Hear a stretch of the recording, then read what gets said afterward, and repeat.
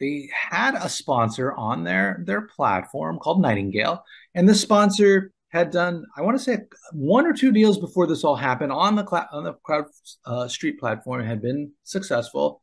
Then they raised money on this Miami deal, which was like a Miami office property, and then they raised another one, which was uh, I think it was maybe New York or basically both office deals. And um, it then came out that there was fraud, a lot of fraud, um, many, many millions of dollars of fraud. It was a, a big black eye for CrowdStreet, especially for these investors who were under the false understanding that their money was protected. Because what CrowdStreet did was they did not actually check. Like basically, you would think that they would put the money in escrow. You would think they would gather all this money, put it into escrow, and then once the, the purchase is ready to go, release it to the sponsor. But that's not what they did. They basically said, as soon as we get $1 million in, let's send it to the sponsor. And then the sponsor said, great, I'm going to stick that into this bank account. And here's another $2 million. Oh, awesome. I'm going to send it into this bank account. And um, so there was a disconnect between what CrowdStreet was doing and, and, and, you know, probably within the law, they were allowed to, to do what they, what they did versus what investors believed that they were doing and the protections that they believed was there.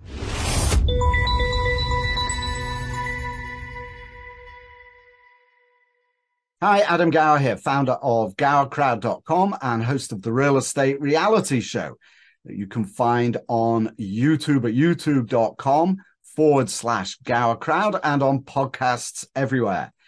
My guest today is an old friend, Ian Ippolito. Now, Ian was one of the first people that I discovered had discovered real estate crowdfunding when I was doing my initial work on the industry a long time ago, probably around 2014, almost 10 years ago, uh, that uh, I came across Ian. And Ian has been tracking the real estate crowdfunding industry since then.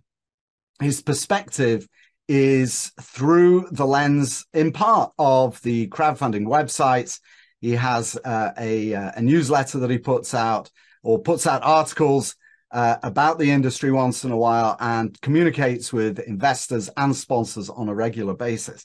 The other thing that's interesting about Ian is that, unlike me, he likes to share or is willing to share his uh, his investment details about how he invests in alternatives, always providing the proviso that he's not a uh, an advisor, etc., etc. But he does share that, and he's going to share some of those insights with you today as well. He talks about what he's seeing in the world of real estate, crowdfunding, some of the recent events with some of the major platforms, Peer Street and Real Crowd and Realty Shares and Crowd Street, of course, and discusses the implications, what he's seeing in the market and how he sees the market evolving in the next few months and years. If you are not already subscribed to the Gower Crowd newsletter, do please go ahead to gowercrowd.com and uh, you, you, will f- check out more information on Ian uh, on the podcast page for today's episode. And while you're there, go to uh, click the uh, the subscribe button and uh, sign up for our newsletter. We have uh, I put a list of all of some of the people that are subscribed, not the people, but the companies they work for.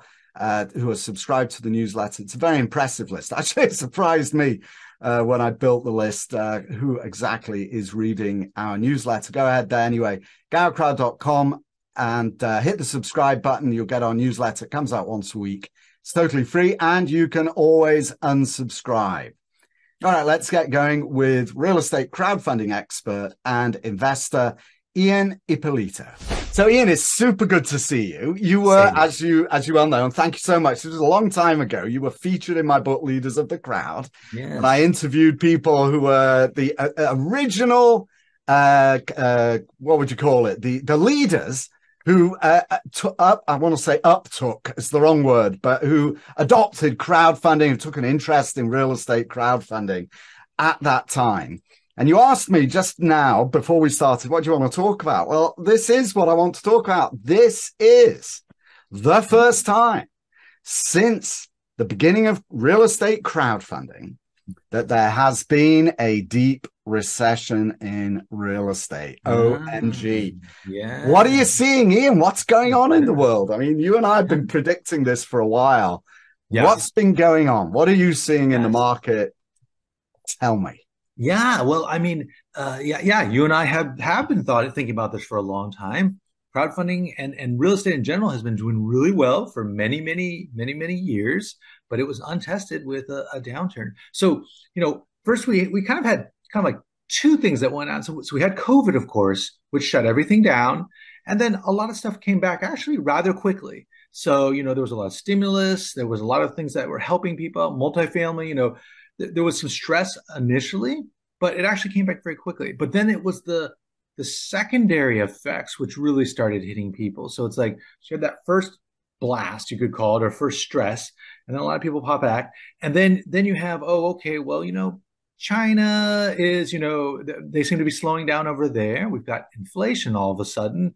Now that becomes a problem. Um, you had the, the, war in Ukraine, which is now all of a sudden driving up food prices, increasing inflation. So all this stuff causing a very different environment than we've been in the last couple decades. And now all of a sudden, inflation is going up. It's a big problem. So the Federal Reserve raises rates, and of course, once they raise rates, all these real estate deals that have uh, non-fixed rate or flexible uh, uh, financing, all of a sudden their rates go up.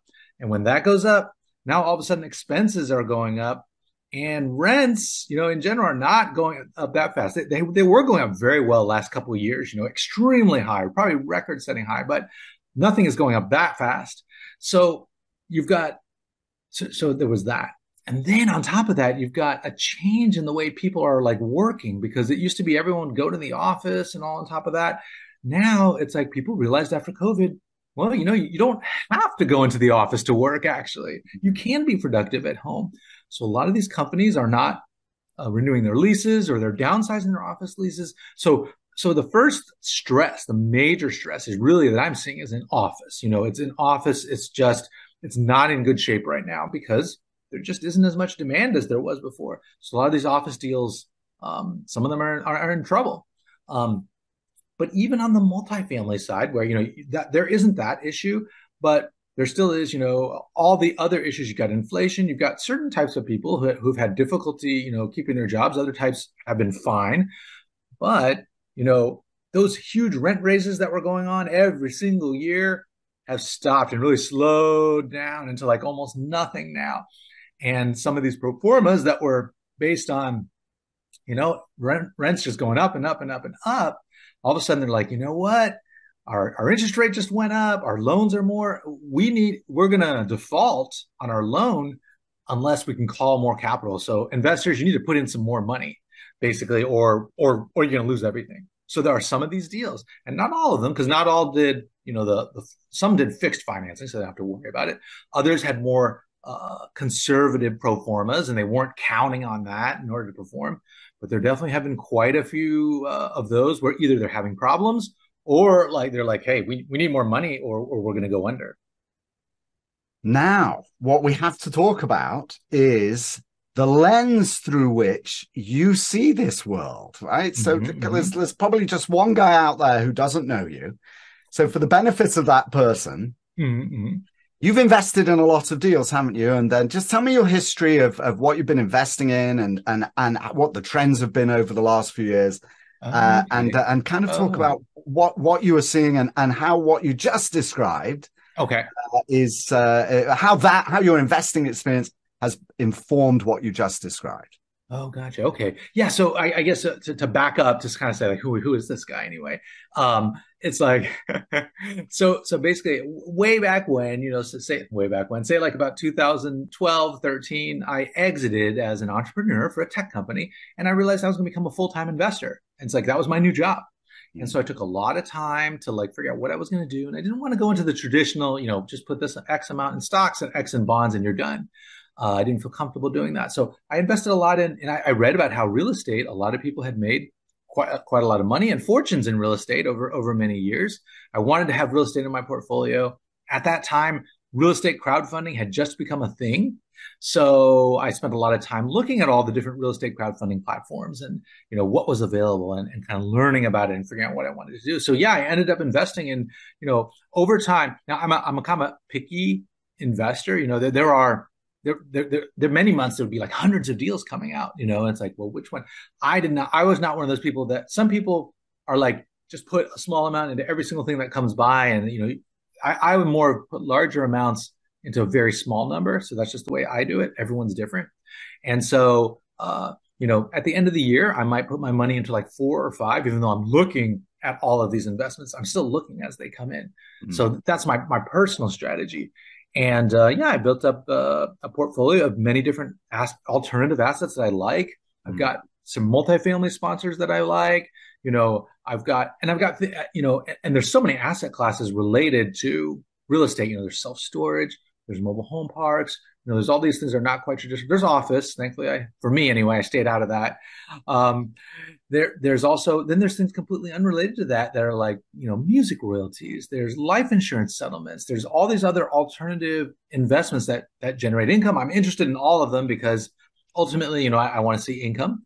So um, yeah, I've I've invested in in quite a few. And oh, go ahead. I think it's you. you well, I was yes. I, I could just a sharp intake of breath ahead of posing a question. You're quite right. Thank you for reading that. Uh, so, what about? Uh, so you've you've been investing in multifamily. Let's kind of focus on that a little bit. Okay. Uh, yeah. I, especially as you've not been investing in uh, in office. Yes. What do you? What? And I know that you do in your uh, in your review. Uh, you do uh, share some intimate details of your portfolio. It's very interesting. Right. Right, so right. tell me what you've been doing in multifamily. What are you seeing, and uh, how how are the multifamily investments you're in performing? Are you seeing capital calls? Are you seeing distribution stopped? What what's going on? Uh, well, I, I, am fortunate, you know. So so maybe I back up to explain. So like every investor is different. Every investor has a different way of doing things. My particular way is I want sponsors that have at least one full real estate cycle. So they've experienced a downturn and have lost little to no money. That's really what I, one of my main things I want to see. And I want to see fixed rate debt. So I don't like floating rate debt. And I want to see low uh, leverage, which means lower returns, but, or at least lower projected returns. But, uh, you know, it, it, they hold up well, better in a, in a downturn. So for me personally, you know, I, the deals that I'm in are not seeing, you know, capital calls. So I, am fortunate, you know, they're they're conservatively structured so that I mean, there no nothing is infinitely, you know, unbreakable. So if things were to get bad enough, they could still come under stress. I've had, you know, like for example, I, I invest in uh, one sponsor called MG, for example. I'm in a ton of their deals, and you know, some of their deals are so old they've just appreciated in value so much. They're just like, you know, and right and and rents went up for so long they're just in fantastic shape. Some of the more recent deals have, you know, were in this more challenging environment. And I think maybe one or two of them are not performing, you know, as they originally projected, but most of them are, even the new ones. So I'm pretty happy, you know, investing in those kind of sponsors where so far they're they're not coming under stress. Ian, mean, you actually just touched on something that is uh, profoundly insightful, but usually an insight that people only learn or appreciate once they've been through a downturn. And that mm-hmm. is that you have invested with sponsors who have been through a downturn and who take on lower leveraged with fixed rate debt. How did you figure that out without having invested with somebody who took higher debt uh, uh on on on uh, on on uh, variable rate uh, terms mm-hmm. and well, lost? You... How did you do that without losing money? Without money to money. learn that lesson. Well, you know, I, I I, I, got really lucky on one invest. My very, very first investment was even before crowdfunding a real hmm. estate investment where I invested in a fund and it ended up not losing money, but it very easily could have lost all of it. They got really lucky. Uh-huh. And it was investing in uh, residential housing just before the Great Recession hit. So it was a lousy, lousy investment. They they ended up pivoting to multifamily, and it took like ten years to come back the money instead of like three years, right? So I ended up breaking even, but you know, not really if I can count the cost of money and all that sort of stuff. But anyway, I saw, I was like, wow, things can really go off the rails. And so I just, you know, thought about, you know, what, what are the things that uh, I, I would not be comfortable with? And it's, and, and, you know, honestly, the sponsors that have been around a long time, they know these things already. So they're all kind of structured very similarly, you know, and, and they're not, they're usually not like loading up on the highest leverage. And usually not doing a fixed rate debt where they're like so close where something that could go wrong could just throw the whole thing off because they want to maintain their their their track records and their history too so they can continue drawing money right so, and that was the other thing that you said ian as well is that you have quote accepted lower returns yeah. by having more conservative. But it's more than that, isn't it? You've been protecting your principal. Yes. It's not just about, you know, a quick buck, is it? It's more about long term. That is exactly it. Because it's like in the short term, when times are good, I can look at, you know, oh, wow, I could have doubled my money there. I could have tripled it there. But you know what? One loss wipes out like a whole bunch of those those awesome awesome gains. Mm. So yeah, so to me, it's much more important to preserve the principal. I'm much more concerned about making sure the principal is safe rather than the return on the investment. And then I figure the return on the investment takes care of itself over time, as long as it's as long as I'm with good sponsors over time. So yeah, during during a during a, when times are good, it's like I'm on the road and I'm seeing all these other cars passing me much faster. I'm like, wow, you know, and, and I'm just sitting here puttering along and uh but then you know you come to a downturn all of a sudden you look on the side of the road and you see all these pileups next to you and you're like okay well that's it i mean essentially you've resisted the fear of missing out i mean this is one of the biggest challenges isn't it for mm-hmm. just talking about real estate crowdfunding specifically mm-hmm. one of the biggest challenges is this i think of it as the shiny object syndrome as well look at that super high irr uh, yes. And, uh, you know, I'm going to double my money in two years. Ooh, let me go after that. There's not much more thinking.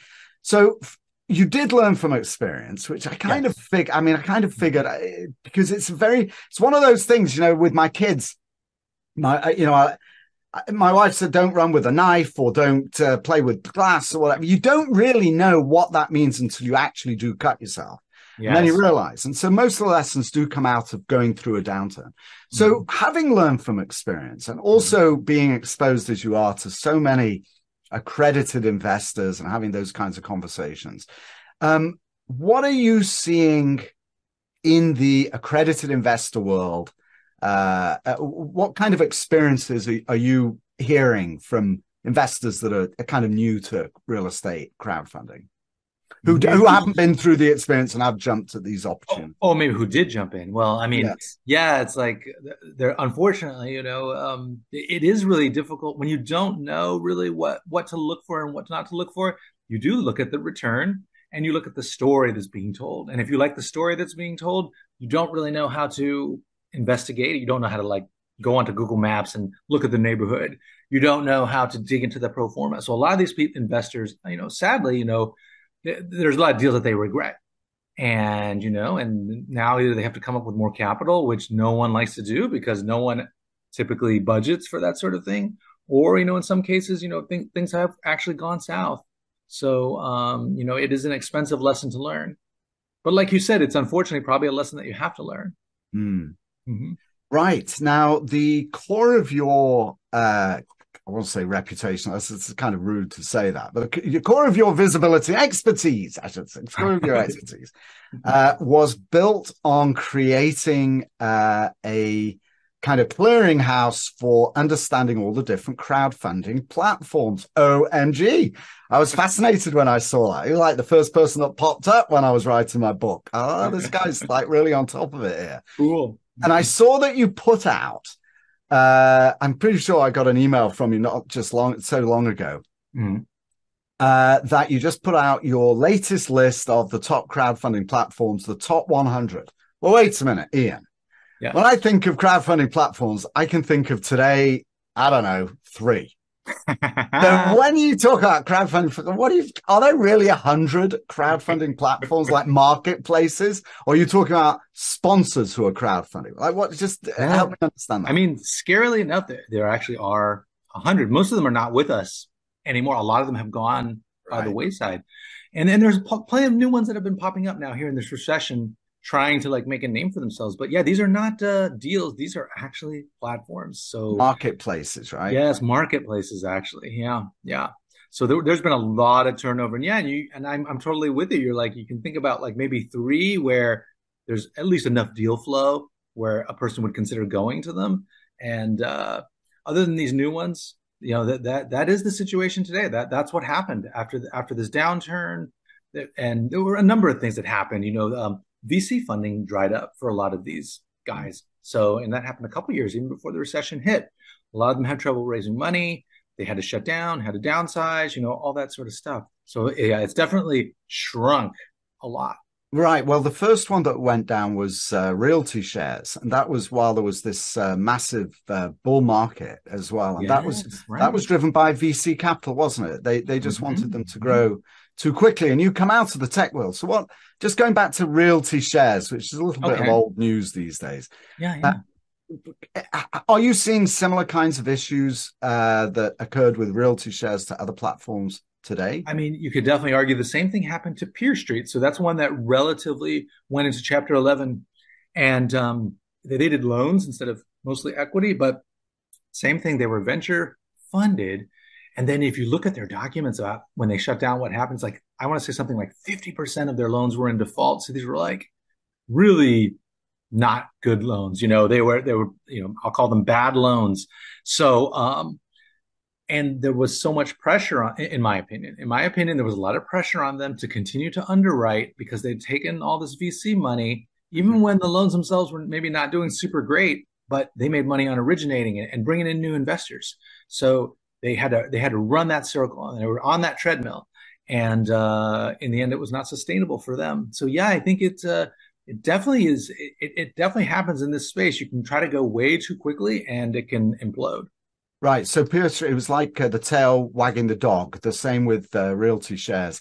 The idea that the capital that had invested in the company was pushing it to unrealistic performance kpis right? Key performance. Yes that's right mm-hmm. yeah and then Real Crowd. Uh, uh, again, I, I, I, I, hope you don't mind me asking specifics okay. about these uh, websites. Just sure. tell me if you do, by the way, and I'll shut up and ask something okay, else. no problem. Uh, but Real Crowd. So Real yeah. Crowd sold to uh, Infinity or somehow was absorbed by Infinity. What do you know about what happened to Real Crowd? That was Adam Hooper's shot, wasn't it? That was Adam Hooper. You know, they didn't talk too much about it. You know, it's like in they kind in, in their in their official marketing, it's like, hey, great news, we've been acquired by this other company. So if you look at just that, everything looks, you know, fine, but obviously no company wants to shut down.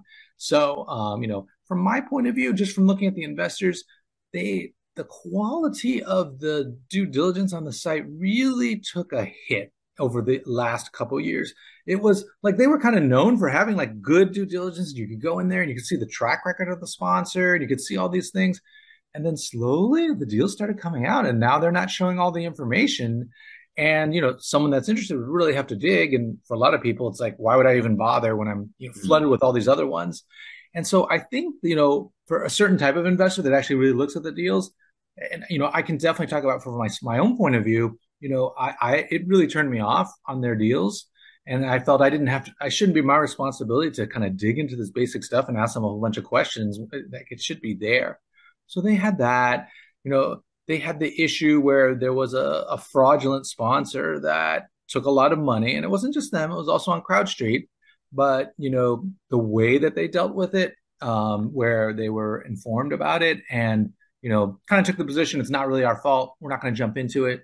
Uh, where, from my point of view, there are obvious red flag signs of fraud, from in my opinion.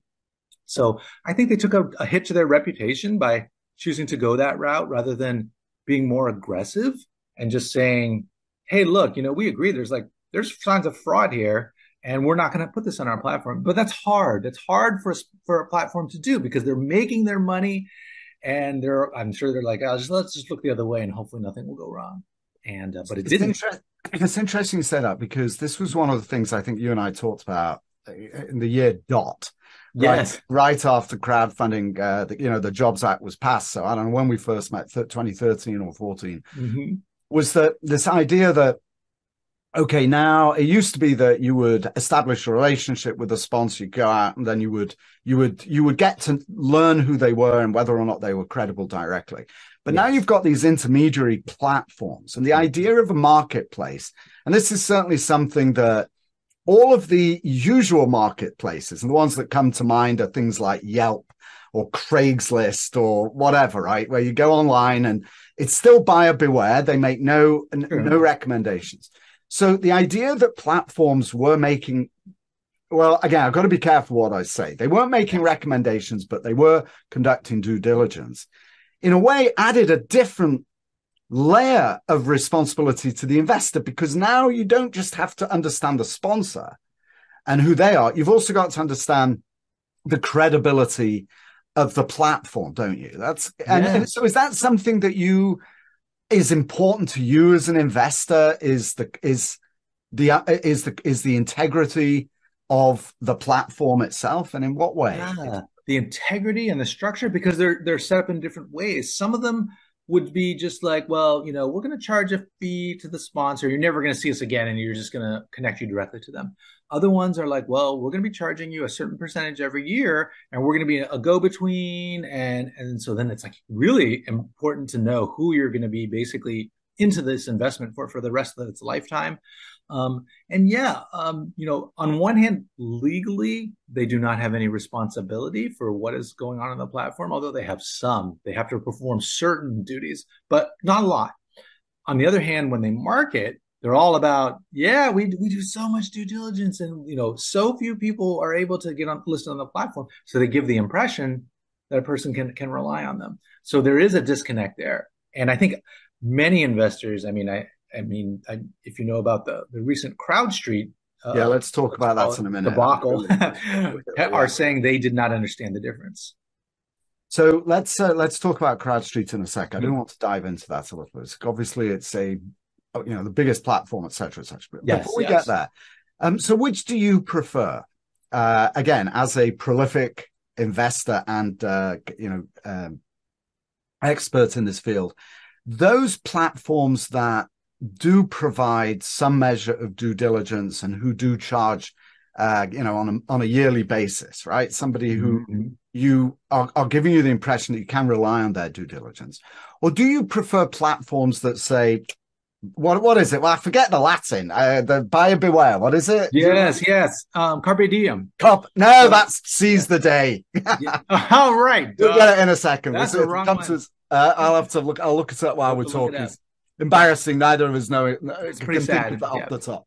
Anyway, okay. but, but um, so which you prefer that platform that provides that due diligence that mm-hmm. kind of makes the effort, or one that just says, "Here, here's a marketplace." Sponsor here's here's a here's a sponsor. They put it out themselves. We have no responsibility. It's just an open market. Have at it.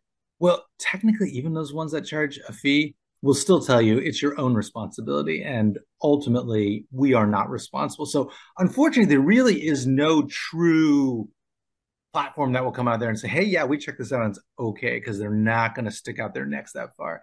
So, you know, for me, I, I'm not a fan of the ones where they are intermediaries like that, just because it's almost like an extra fee that has to be paid. And I still am not getting that guarantee that, you know, they've done the due diligence. And honestly, even if they said they did, I still have to check them out anyway. So, um, so and so personally, I actually prefer the ones where it's just very obvious and it's just it's out there and it's up to up to yourself to figure it out. Right. So for everybody who are chomping at the bit that we couldn't remember, buyer beware, caveat emptor. There.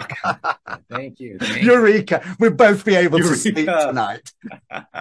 Beautiful. All right, so let's talk about CrowdStreet. What, what? Why don't you describe what happened there? We both know well, but why don't you, in your own words, what happened with CrowdStreet, and uh, yeah, just talk about so, that. So they, they, they they had a sponsor on their their platform called Nightingale, and the sponsor had done I want to say one or two deals before this all happened on the on the Crowd uh, Street platform had been successful.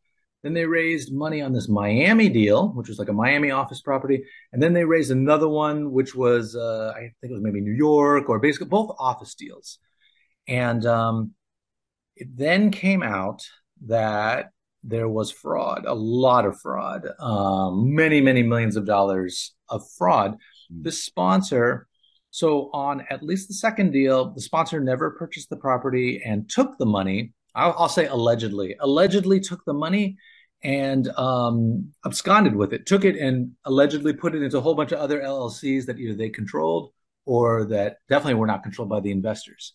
Um, and so, and on that, I want to say on that Miami deal, I believe it was it was the same, either that or basically there was some uh, you know alleged absconding of the money. It may not have been the entire amount, but mm. but but basically between this, so it was a a big black eye for CrowdStreet, especially for these investors who were under the false understanding that their money was protected. Because what CrowdStreet did was they did not actually check.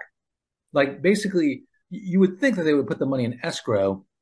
You would think they would gather all this money, put it into escrow, And then once the, the purchase is ready to go, release it to the sponsor. But that's not what they did. They basically said, as soon as we get $1 million in, let's send it to the sponsor. And then the sponsor said, great, I'm going to stick that into this bank account. And here's another $2 million. Oh, awesome. I'm going to send it into this bank account.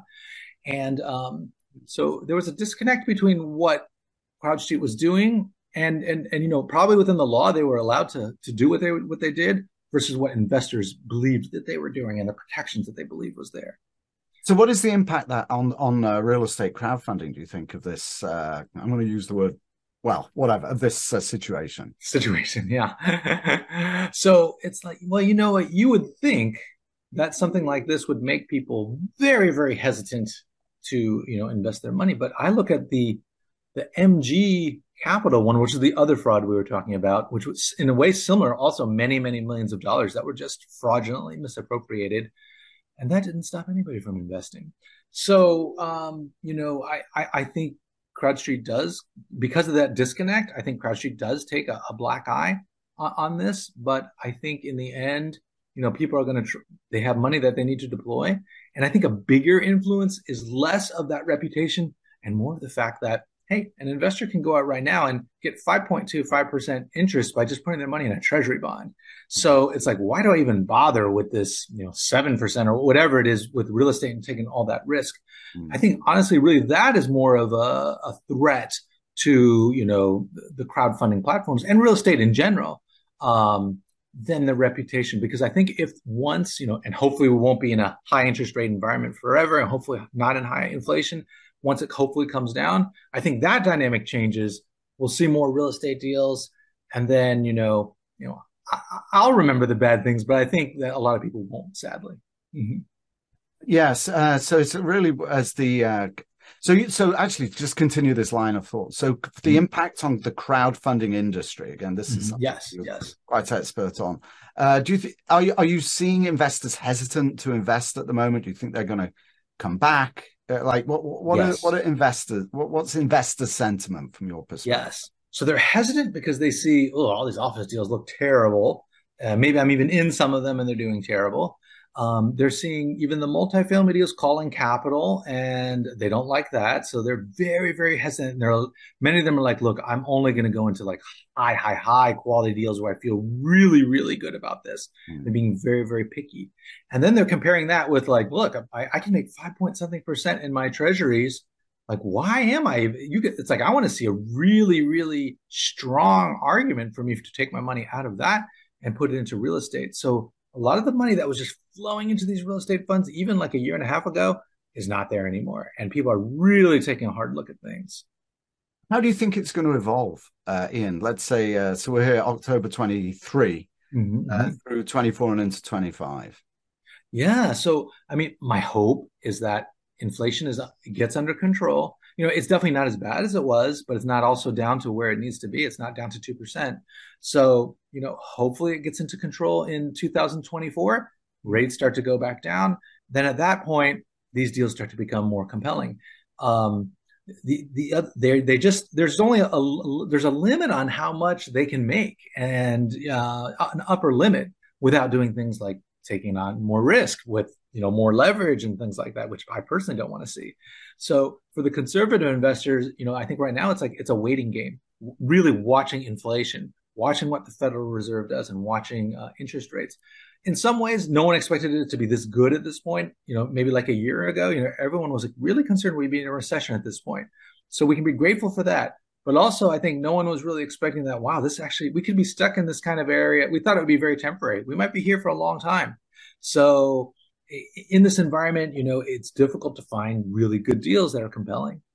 So, what are you investing in today? Again, uh, I know you like to talk about this. I'm very, I'm, I'm very private about that kind of stuff. I know you're happy to talk about it. So, yeah. So, so what? You, how are you uh, managing your portfolio in yes. this uh, in this environment? Again, with the caveat that every investor is different. You know, this is just what I personally do. Everyone needs to consult with their own, you know, personal advisors because who knows, my thing could just fall off a cliff tomorrow. Mm-hmm. Um, having having said that, you know, I, am sticking with my strategy. So I believe in a vintage year strategy, which is the idea that like, you know, it's so hard to predict, you know, this was going to be the good year and this was going to be the bad year. I mean, even for the last, I'd say last 10 years, everyone's saying, oh, this is going to be the bad year. You got to stop investing in real estate. And it, it didn't happen. So now we are in tough times. And a lot of times that transition right after it turns from tough to good, some of the really best deals can come out. So, you know, I am hesitant to just go, oh, I'm not going to invest at all. And so I, I've just come with a strategy similar to like dollar cost averaging in the stock market. I use the vintage year strategy where I'm just like, you know, every year I'm just I'm not going to put everything into one year. Every year I'm just going to put more in. Every year put more in. And so I spread it out over time and that way one bad year is not going to kill me, but hopefully I'm also participating in the really good years. So I am continuing to invest, but only in like what I consider to be, you know, the, the best of the best, which is like, you know, like I said, really low leverage, sponsors that have been around for multiple cycles, which is hard. There's actually not a lot. So um there are going to be a lot more of them in the next few years. right. You're right. The ones that survive will be able to say it. So that's yes. really good. Yeah. That's really important, isn't it, actually? Yes, yes. Those that survive it today mm-hmm. will be the ones that you will want to invest in next time. So, so yes. what advice would you give to a sponsor today, even if they look like they are going to lose a deal, mm-hmm. uh, to uh, sponsors that are struggling today that want to survive into the next upturn? What kind of advice would you give them? What would you? Yeah, well, you know, they, they may not care about my advice, but uh, you know, but from the point of view just of an investor, you know, I, and again, may, as a conservative investor, maybe I'm I'm biased or whatever, but I'm like, hey, the sponsors I'm investing in, I want them to survive and I want them to do well so they can continue to do you know invest and it's like i, I don't want to see the it's hard to resist for some but it's like i don't want to see the crazy leverage and the, ah. the super high irrs and, and i you know i, I don't want to see the floating rate debt that allows to also project higher IRRs. I want to see it played conservatively and you know maybe not as exciting, but that to me tells me, hey, you're going to be around hopefully for a long time, which is what I want. Ian Ippolito, it is always such a pleasure. And today, this was the first time we've actually met. I've only I ever know. seen your photograph before. so it's great. nice to see you in person. You, yeah. you, I must say, you, uh, you look exactly like you sound. Huh, good. I think it's good. I don't know. like I expected. I oh, say. great. Anyway, thank you so much for joining me today on the podcast. My pleasure. All right, that was Ian Ippolito investor and expert in real estate crowdfunding, particularly in the platforms. Ian, it's always a pleasure to talk to you, and particularly today to actually quote unquote meet you uh, on a Zoom call. I don't think we've ever actually met face to face before. It was a real pleasure to do that. And as always, your insights are really interesting, and I appreciate you having shared with them, uh, uh, shared them with us today on the show. If you want to know more about Ian, go to the Gower Crowd, go to gowercrowd.com, go to the podcast page. And while you're there, of course, do please be sure to subscribe to the Gower Crowd newsletter. It comes out once a week. And we cover the major events in commercial real estate syndication from the prior week with implications and act, action points that you can actually uh, use. And of course, thank you, dear viewers, for joining us today. I hope you found conversation with Ian as interesting as I did. And I look forward to seeing you next time on the Real Estate Reality Show. But for now, this is Adam Gower signing off.